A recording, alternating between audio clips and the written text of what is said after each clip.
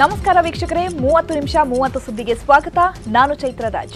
Well ವೀಕ್ಷಕರೇ, ದಿನದಲ್ಲಿ ನಡೆದಂತಹ ಪ್ರಮುಖ ಸುದ್ದಿಗಳನ್ನ ಇದೀಗ ಒಂದೊಂದೇ ಫಟಾಫಟ್ ನೋಡ್ತಾ ಹೋಗೋಣ. ನಾಲ್ಕು ದಿನಗಳ ಬಳಿಕ ಮೌನ ಮುರಿದಿರೋ ಸಿಎಂ ಯಡಿಯೂರಪ್ಪ ಮೇಲಿಂದ ಮೇಲೆ ರಾಜೀನಾಮೆ ಸುಳಿವು ನೀಡ್ತಿದ್ದಾರೆ. ನಾನು ಅಧಿಕಾರದಲ್ಲಿರಲಿ ಅಥವಾ ಇಲ್ಲದೇ ಇರಲಿ, ನನಗೆ ಪಕ್ಷ ಮುಖ್ಯ. ಮುಂದಿನ ಬಾರಿ ಬಿಜೆಪಿ ಅಧಿಕಾರಕ್ಕೆ ತರೋದೇ ನನ್ನ ಗುರಿ. ರಾಜ್ಯದಲ್ಲಿ ಬೇಕಾದಷ್ಟು ಪರ್ಯಾಯ ನಾಯಕರು ಇದ್ದಾರೆ. ಆದರೆ ಯಾರ ಹೆಸರನ್ನು ಶಿಫಾರಸು ಮಾಡಲ್ಲ. ಹೈಕಮಾಂಡ್ ಏನ್ ಹೇಳುತ್ತೋ ಅದನ್ನ ಮಾಡ್ತೀನಿ. ಸಿಎಂ ಆಗಿ ಎಷ್ಟು ದಿನ ಇರಬೇಕು ಅಂತಾರೋ ಅಷ್ಟು ದಿನ ಇರ್ತೀನಿ. ಜುಲೈ ಇಪ್ಪತ್ತೈದರ ಸಂದೇಶಕ್ಕಾಗಿ ಕಾಯ್ತಿದ್ದೇನೆ ಅಂತ ಹೇಳಿದ್ದಾರೆ. ಸೊ ಕೇಂದ್ರದ ನಾಯಕತ್ವ ಏನು ತೀರ್ಮಾನ ತಗೊಳುತ್ತೆ? ಅದಕ್ಕೆ ನಾನು ಬದ್ಧನಾಗಿರ್ತೇನೆ ಅಂತ ಹಿಂದೆನೂ ಹೇಳಿದ್ದೇನೆ, ಈಗಲೂ ಹೇಳಿದ್ದೇನೆ. ನಾನು ಅಧಿಕಾರ ಇರಲಿ ಇಲ್ಲದೆ ಇರಲಿ, ಬರೋ ಹತ್ತಾರು ವರ್ಷ ಕರ್ನಾಟಕ ರಾಜ್ಯದಲ್ಲಿ ಮತ್ತೊಮ್ಮೆ ಬಿ ಜೆ ಪಿಯನ್ನು ಅಧಿಕಾರಕ್ಕೆ ತರಬೇಕು, ಸಂಘಟನೆಯನ್ನು ಬಲಪಡಿಸಬೇಕು. ಈ ದೃಷ್ಟಿಯಿಂದ ರಾಜ್ಯದ ಉದ್ದಗಲಿಕ್ಕೆ ಓಡಾಟ ಮಾಡಿ ಸಂಘಟನೆಯನ್ನು ಬಲಪಡಿಸಬೇಕು ಅನ್ನೋ ತೀರ್ಮಾನ ಮಾಡಿದ್ದೇನೆ. ಮುಖ್ಯಮಂತ್ರಿಯಾಗಿ ಎಷ್ಟು ದಿನ ಇರಬೇಕು ಅಂತ ಹೇಳ್ತಾರೋ ಅಷ್ಟು ದಿವಸ ಮುಖ್ಯಮಂತ್ರಿಯಾಗಿರ್ತೇನೆ. ಯಾವತ್ತು ಬೇಡ ಅಂತ ಹೇಳ್ತಾರೆ, ಅವತ್ತು ಸಂಘಟನೆಯನ್ನು ಬಲಪಡಿಸೋಕ್ಕೆ ರಾಜ್ಯದಲ್ಲಿ ಪ್ರವಾಸ ಮಾಡಿ ಕೆಲಸ ಮಾಡ್ತೇನೆ. ಸಿಎಂ ರಾಜೀನಾಮೆ ಬಗ್ಗೆ ಪುತ್ರ ರಾಘವೇಂದ್ರ ಪ್ರತಿಕ್ರಿಯೆ ಕೊಟ್ಟಿದ್ದಾರೆ. ನ್ಯೂಸ್ ಏಟೀನ್ ಕನ್ನಡದ ಜೊತೆ ಮಾತನಾಡಿದ ಅವರು, ನಮ್ಮ ಕುಟುಂಬದಿಂದ ಯಾವುದೇ ಲಾಬಿ ಮಾಡಿಲ್ಲ, ನಮ್ಮ ಕುಟುಂಬದಿಂದ ಯಾವುದೇ ಒತ್ತಡ ಹೇರಿಲ್ಲ. ನಮ್ಮ ತಂದೆ ಎಷ್ಟೋ ಮಕ್ಕಳನ್ನ ಕಾರ್ಯಕರ್ತರಂತೆ ಬೆಳೆಸಿದ್ದಾರೆ. ಹೈಕಮಾಂಡ್ ಆದೇಶದಂತೆ ಮುಂದೆ ಕೆಲಸ ಮಾಡ್ತಾರೆ ಅಂತ ಹೇಳಿದ್ರು. ಹಾಗಾಗಿ ಇಲ್ಲೆಲ್ಲೋ ಮಕ್ಕಳಿಗೆಗೋಸ್ಕರ ಸೀಮಿತವಾಗಿ ಚಿಂತನೆ ಮಾಡುವಂತ ಸಂಕೋಚಿತ ಭಾವನೆ ಯಡಿಯೂರಪ್ಪನಲ್ಲ ನಮ್ಮ ಮಕ್ಕಳಲ್ಲ ನಮ್ಮ ಮಕ್ಕಳ ನಮ್ಮ ಮಕ್ಕಳ ರೀತಿಯಲ್ಲಿ ಸಾಕಷ್ಟು ಜನ ಕಾರ್ಯಕರ್ತರನ್ನ ಇವತ್ತು ನಾಯಕರಾಗಿ ಬೆಳೆಸಿದ್ದಾರೆ ಏನು ಹೈಕಮಾಂಡ್ ಏನ್ ಸಲಹೆ ಕೊಡ್ತಾ ಅದಕ್ಕೆ ನಾನು ನಂದು ಒಪ್ಪಿಗೆ ಇದೆ ಅನ್ನೋ ರೀತಿಯಲ್ಲಿ ಒಂದ್ ತಿಂಗಳು ಕೆಳಗೂ ಕೂಡ ಸ್ಪಷ್ಟ ಸ್ಪಷ್ಟ ಸಂದೇಶವನ್ನು ಕೊಟ್ಟಿದ್ದಿರೋದು. ಸೊ ಬರೋದ್ರಿಂದ ನೋಡೋಣ ಏನ್ ಹೈಕಮಾಂಡ್ ಏನ್ ತೀರ್ಮಾನ ತೆಗೆದುಕೊಳ್ಳಿ ಈಗ ಕೂಡ ಮುಂದೆ ಮುಂದೂ ಕೂಡ ಒಬ್ಬ ಕಾರ್ಯಕರ್ತನಾಗಿ ಏನ್ ಹೈಕಮಾಂಡ್ ಅಪೇಕ್ಷೆ ಪಡುತ್ತೆ ಅದಕ್ಕೆ ನಾನು ಇನ್ನು ಸಿಎಂ ಬದಲಾವಣೆ ಗಾಳಿ ಜೋರಾಗಿ ಬೀಸ್ತಿದಂತೆ ಸಚಿವ ಉಮೇಶ್ ಕತ್ತಿ ಮೇಲಿಂದ ಮೇಲೆ ಟವಲ್ ಹಾಕ್ತಿದ್ದಾರೆ. ನಾಯಕತ್ವ ಬದಲಾವಣೆ ಬಗ್ಗೆ ಮಾತನಾಡಿದ ಉಮೇಶ್ ಕತ್ತಿ, ಉತ್ತರ ಕರ್ನಾಟಕದವರಿಗೆ ಸಿಎಂ ಆಗುವ ಅವಕಾಶ ಸಿಗಬೇಕು. ಒಂದು ವೇಳೆ ನನಗೆ ಅವಕಾಶ ಕೊಟ್ರೆ ನಾನು ಸಿಎಂ ಆಗ್ತೇನೆ ಅಂತ ಹೇಳಿದ್ದಾರೆ. ಉತ್ತರ ಕನ್ನಡ ಭಾಗದಲ್ಲಿ ಇದೆ. ಆ ಭಾಗದಲ್ಲಿ ಇನ್ನೂ ಸರ್ಕಾರ ಕೆಲಸಗಳು ಭಾಳ ಇದೆ ಆದರೂ ಒಳ್ಳೆಯದಂತ ನಮ್ಮ ಅನಿಸಿಕೆ. ನ್ಯಾಯ ಹೈಕಮಾಂಡ್ ಭೇಟಿಯಾಗಿ ಹೊಂಟಿಲ್ಲ? ಅಂಥ ಪ್ರಸಂಗ ಇಲ್ಲ. ನಮ್ಮ ಹೈಕಮಾಂಡ್ ಒಳ್ಳೆಯ ತೀರ್ಮಾನವನ್ನು ಮಾಡುತ್ತದೆ. ಇನ್ನು ಸಿಎಂ ರಾಜೀನಾಮೆ ನೀಡುವ ಬಗ್ಗೆ ಸುಳಿವು ನೀಡುತ್ತಿದ್ದಂತೆ ಸಂಪುಟ ಸದಸ್ಯರು ಒಬ್ಬೊಬ್ಬರಾಗಿ ರಿಯಾಕ್ಟ್ ಮಾಡಿದ್ದಾರೆ. ಬೆಂಗಳೂರಿನಲ್ಲಿ ಮಾತನಾಡಿದ ಅಶೋಕ್, ಪಕ್ಷದಲ್ಲಿ ನಿಷ್ಠೆ, ನೀತಿ ಪಾಲಿಸುವುದು ನಮ್ಮ ಬದ್ಧತೆ.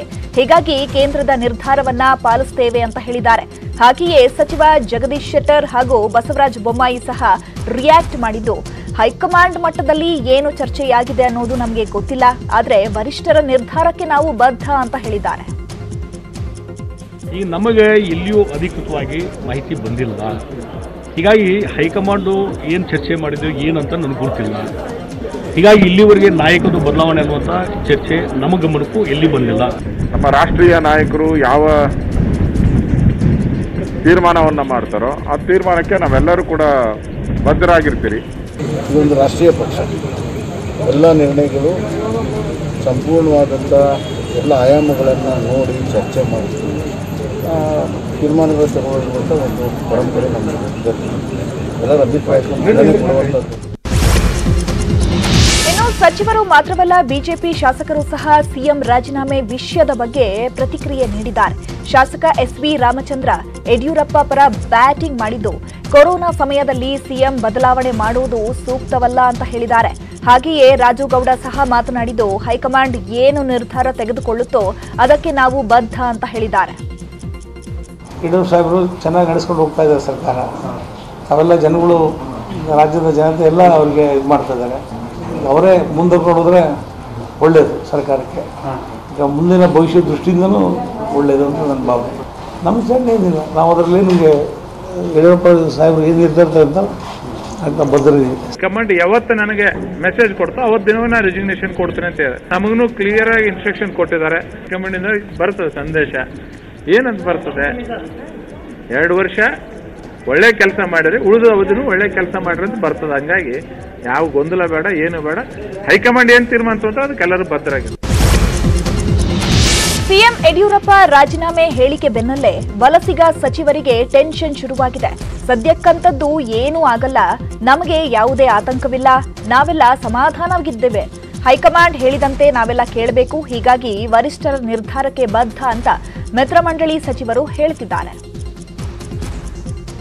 ಏನಿಲ್ಲ ಸರ್ ಒಳ್ಳೇದಾಗಿದೆ ಯಾವ ತೊಂದ ತೊಂದರೆ ಇಲ್ಲ ಇವರೇ ಮುಖ್ಯಮಂತ್ರಿಗಳಾಗಿ ಮುಂಗಡಿತಾರೆ ಅಂತೇಳಿ ಇವರೇ ನಮಗೆ ಮುಖ್ಯಮಂತ್ರಿಗಳಾಗಿ ಇರಬೇಕು ಅಂತಲೂ ನಮ್ಮೆಲ್ಲರಿಗೂ ಆಸೆ ಇದೆ. ಯಾವ ಥರದ ಅಂತ ಏನು ಅಡಚಣೆ ಇಲ್ಲ ಅಂತ ಹೇಳಿ ಬಯಸ್ತಾ ಇದ್ದೀನಿ. ನಾವೆಲ್ಲರೂ ಒಟ್ಟಿಗೆ ಕುಳಿತು ಯಾರಿಗೆ ವಲಸಿಗರು ಯಾರು ಇಲ್ಲ. ನಾವೆಲ್ಲ ಬಿ ಜೆ ಪಿನವ್ರೆ ನಾವು ಮನೆ ಆ ಬಿ ಜೆ ಪಿ ಮನೆಗೆ ಬಂದಾಗಿದೆ ನಾವೆಲ್ಲ ಬಿ ಜೆ ಪಿಗೆ ನಾವು ಯಡಿಯೂರಪ್ಪ ಅವರ ನೇತೃತ್ವದಲ್ಲಿ ಇವತ್ತು ನಾವೇನಿದ್ದೀವಿ ಅವರ ಪರವಾಗಿ ನಿಂತ್ಕೊಂತೀವಿ. ಯಾವುದು ಇಲ್ಲ ಆತಂಕವೂ ಇಲ್ಲ ಏನೂ ಇಲ್ಲ. ಒಂದು ನಿಮಿಷ ಏಳು ಗಂಟೆಗೆ ಹೇಳ್ರಿ ಆತಂಕನಿಲ್ಲ ಏನಿಲ್ಲ. ಏನು ಅಧಿಕಾರಕ್ಕೋಸ್ಕರ ಇರ್ತೀರಾ ಅಧಿಕಾರಕ್ಕೋಸ್ಕರ ಅಲ್ಲ ಯಾವತ್ತೂ ಯಡಿಯೂರಪ್ಪ ಮುಖ್ಯಮಂತ್ರಿ ಆಗಬೇಕು ಅಂತ ತಾವು ಎಲ್ಲ ಪಕ್ಷ ಬಿಟ್ಟು ಬಂದ್ರಿ. ಹೌದು. ಸರ್ಕಾರ ರಚನೆ ಆಯ್ತು. ಈಗ ಸಿಎಂ ಬದಲಾವಣೆ ಬಿರುಗಾಳಿ ಎದ್ದಿರೋ ಹೊತ್ತಲ್ಲೇ ಸಚಿವ ಸಂಪುಟ ಸಭೆ ಆರಂಭವಾಗಿದೆ. ಯಡಿಯೂರಪ್ಪ ಅಧ್ಯಕ್ಷತೆಯಲ್ಲಿ ಕ್ಯಾಬಿನೆಟ್ ಸಭೆ ನಡೀತಾ ಇದ್ದು ಹಲವು ವಿಷಯಗಳ ಬಗ್ಗೆ ಚರ್ಚೆ ಮಾಡಲಾಗಿದೆ. ಅಲ್ಲದೆ ಸಿಎಂ ಯಡಿಯೂರಪ್ಪ ತಮ್ಮ ಮುಂದಿನ ನಡೆ ಬಗ್ಗೆ ಮಾತನಾಡ್ತಾರಾ? ಸಂಪುಟ ಸಹೋದ್ಯೋಗಿಗಳ ಪ್ರತಿಕ್ರಿಯೆ ಏನಿರುತ್ತೆ ಅನ್ನೋ ಕುತೂಹಲ ಮೂಡಿಸಿದೆ. ಜೊತೆಗೆ ಕಂದಾಯ ಇಲಾಖೆಯ ತಹಶೀಲ್ದಾರ್ ಹುದ್ದೆಗೆ ಇತರೆ ಇಲಾಖೆಯ ಅಧಿಕಾರಿಗಳನ್ನು ನೇಮಿಸುವ ಕುರಿತು ಚರ್ಚೆ ನಡೆಯುವ ಸಾಧ್ಯತೆ ಇದೆ. ಇನ್ನು ರಾಜ್ಯ ರಾಜಕೀಯದಲ್ಲಾಗ್ತಾ ಇರೋ ಬೆಳವಣಿಗೆಯನ್ನ ಬಿಜೆಪಿ ಹೈಕಮಾಂಡ್ ಸೂಕ್ಷ್ಮವಾಗಿ ಗಮನಿಸ್ತಾ ಇದೆ. ಜುಲೈ ಇಪ್ಪತ್ತೈದಕ್ಕೆ ಹೈಕಮಾಂಡ್ ರಾಜ್ಯಕ್ಕೆ ವೀಕ್ಷಕರನ್ನ ಕಳುಹಿಸಿಕೊಡೋ ಸಾಧ್ಯತೆ ಇದೆ. ಈ ವೇಳೆ ರಾಜ್ಯ ನಾಯಕರನ್ನ ಭೇಟಿ ಮಾಡಲಿರೋ ಕೇಂದ್ರ ನಾಯಕರು ಸಿಎಂ ಆಯ್ಕೆ ಬಗ್ಗೆ ಮಾಹಿತಿ ಕಲೆ ಹಾಕಲಿದ್ದಾರೆ. ಇದಾದ ಬಳಿಕ ಮಹತ್ವದ ಸೂಚನೆ ಹೊರಬೀಳೋ ಸಾಧ್ಯತೆ ಇದೆ ಅಂತ ಹೇಳಲಾಗ್ತಾ ಇದೆ. ಒಂದು ವೇಳೆ ಸಿಎಂ ಬದಲಾವಣೆ ಮಾಡಿದ್ರೆ ಮುಂದಿನ ಸಿಎಂ ಯಾರಾಗ್ತಾರೆ ಅನ್ನೋ ಯಕ್ಷ ಪ್ರಶ್ನೆ ಎದ್ದಿದೆ.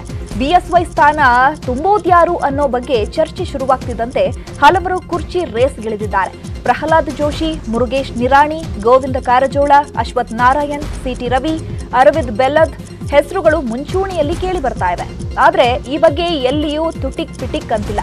ಸಚಿವ ಉಮೇಶ್ ಕತ್ತಿ ಮತ್ತು ಶಾಸಕ ಬಸನಗೌಡ, ಪಾಟೀಲ್ ಯತ್ನಾಳ್ ಮಾತ್ರ ಸಿಎಂ ಸ್ಥಾನ ಕೊಟ್ರೆ ನಿಭಾಯಿಸ್ತೀನಿ ಅಂತ ಹೋದಲ್ಲಿ ಬಂದಲ್ಲಿ ಹೇಳ್ಕೊಂಡು ಓಡಾಡ್ತಿದ್ದಾರೆ. ಸಿಎಂ ಬದಲಾವಣೆ ವದಂತಿ ಜೋರಾಗ್ತಿದ್ದಂತೆ ರಾಜ್ಯದ ಮಠಾಧೀಶರು ಯಡಿಯೂರಪ್ಪ ಬೆನ್ನಿಗೆ ನಿಂತಿದ್ದಾರೆ. ನಿನ್ನೆ ಇಡೀ ದಿನ ಸಿಎಂ ಜೊತೆ ಚರ್ಚಿಸಿದ್ದ ಸ್ವಾಮೀಜಿಗಳು ಇಂದು ಸಹ ಕಾವೇರಿಯಲ್ಲಿ ಕಾವೇರಿದ ಚರ್ಚೆ ನಡೆಸುತ್ತಿದ್ದಾರೆ ಯಡಿಯೂರಪ್ಪ ಕುರ್ಚಿ ಉಳಿಸಲು ದೆಹಲಿ ಭೇಟಿಗೂ ಸಿದ್ಧತೆ ಮಾಡಿಕೊಳ್ತಿದ್ದು, ಬಿಜೆಪಿ ಹೈಕಮಾಂಡ್ ನಾಯಕರ ಭೇಟಿಗೆ ತಯಾರಿ ಮಾಡ್ತಿದ್ದಾರಂತೆ. ಕೇವಲ ವೀರಶೈವ ಲಿಂಗಾಯತ ಸ್ವಾಮೀಜಿಗಳಷ್ಟೇ ಅಲ್ಲ ಬೇರೆ ಸಮುದಾಯದ ಶ್ರೀಗಳಿಗೂ ಸಿಎಂ ಆಹ್ವಾನ ನೀಡಿದ್ದು. ಐನೂರಕ್ಕೂ ಹೆಚ್ಚು ಶ್ರೀಗಳಿಂದ ಒತ್ತಡ ಹೇರಲು ಪ್ಲಾನ್ ಮಾಡಿದ್ದಾರೆ ಅಂತ ಹೇಳಲಾಗ್ತಿದೆ. ಯಡಿಯೂರಪ್ಪಾಜಿಯವರ ನಿರ್ಧಾರ ಇಳಿಸುವಂತ ನಿರ್ಧಾರವನ್ನು ಬೇಗನೆ ಬದಲಾವಣೆ ಮಾಡಿಕೊಳ್ಬೇಕು. ಇವತ್ತು ಕೇಂದ್ರದಿಂದ ಆದೇಶ ಬರಬೇಕು.